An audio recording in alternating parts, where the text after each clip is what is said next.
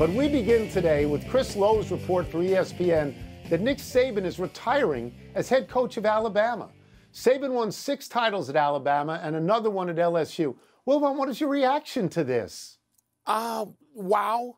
Wow, wow, wow. You know, Tony, wow. in the lead up, there was so much time to talk about everything that I watched shows where the question was asked and it was usually dismissed, or there was some talk and there were a couple of shows where people who cover SEC football were saying, wait a minute now, this is possible. And so you, you'd hear all of this discussion, but you still think, okay, and even if you believed it, it's Nick Saban.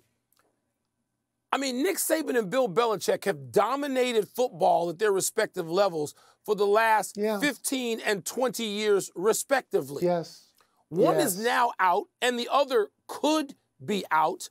And you just think, wow, college football, Tony, which to me is in total chaos. I mean, I know we're coming off a nice championship game and the college football playoff four and all of that. But college football to me is in a, I'm going to say this as a college football fanatic, a season ticket holder, a booster of a Power Five conference team. College football is a mess. And maybe we're going to find out in the coming days that Nick Saban's like, you know, what do I need this for? Between the transfer portal and NIL, Tony, even many of the great coaches, successful coaches, Nick Saban always has a top five recruiting class. Many of them are just mm-hmm. like, no, enough of this. And I wonder, don't know, wonder how he feels about all that and if there was an impact. So I'm going to like let the viewers know how this show works. And it works is that during the days things happen and you remake whatever you were going to do and you put something in.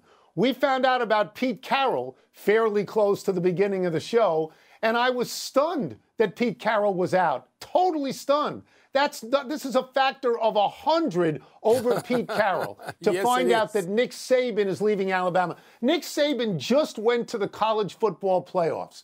Right? He went to overtime with the team that won the college championships. They're going to 12 teams next year. You can pencil him in for the next 20 years. 12 teams. Alabama's always going to be one of the 12. And he's leaving. He's an obsessive coach. He didn't take any days off all year long, basically.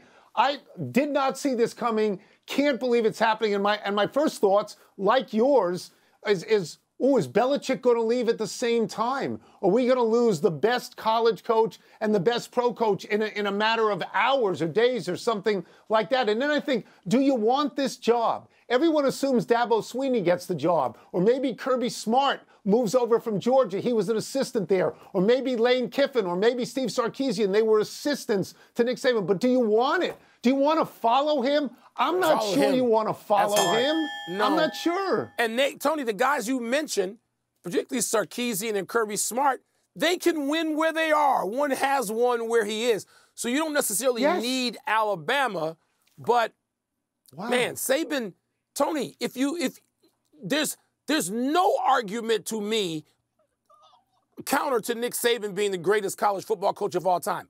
There's That's no just, argument. I, I don't know there's one You for tell me- Belichick either, because I wouldn't make one No. against Belichick. Light a cigarette